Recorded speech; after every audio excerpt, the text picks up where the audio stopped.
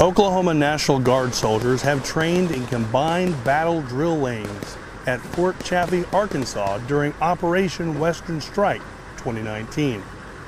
Soldiers from Headquarters Battery, 1st Battalion, 158th Field Artillery Regiment, 45th Field Artillery Brigade have trained to respond to small arms fire, indirect fire, and vehicle recovery.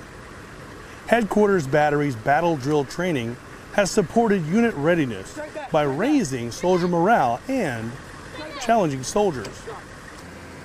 Headquarters Battery First Sergeant Kelly Smith says soldier leadership is what makes the unit successful in its mission. Not only just the leadership, but also the motivation from the soldiers. Soldiers love to train. All of them, you know, they, they want to train. They want to do what they what they signed up to do, and they love to do different training events such as such as this that we've had today, and the previous ones that we've executed throughout the week. First Sergeant Kelly also said most soldiers will look on this training event as one of the best they've ever had. Reporting from Fort Chaffee, I'm Army Sergeant John Stoner.